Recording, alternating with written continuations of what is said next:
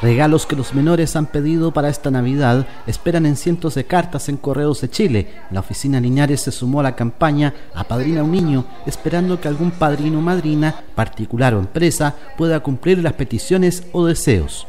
Invitar a las empresas, porque están un poquito flojas, que las empresas se pongan esta vez con Navidad, con los niños, con las familias que lo más lo necesitan, porque aparte de los niños hay mucha realidad, hay mucha eh, necesidad social.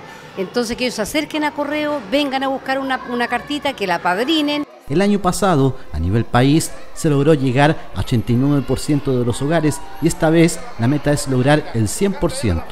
¿Cuál es tu nombre? Amaya. Ya. Eh, Amaya, cuéntanos, eh, tú estás apoyando la campaña Navidad, ¿no es cierto? Sí, ¿Ya? ¿Qué le dices a los papás o a las personas que puedan colaborar? que hay que cuidarse mucho. ¿Qué le dice a las personas, a las personas para que le lleven la felicidad a los niños?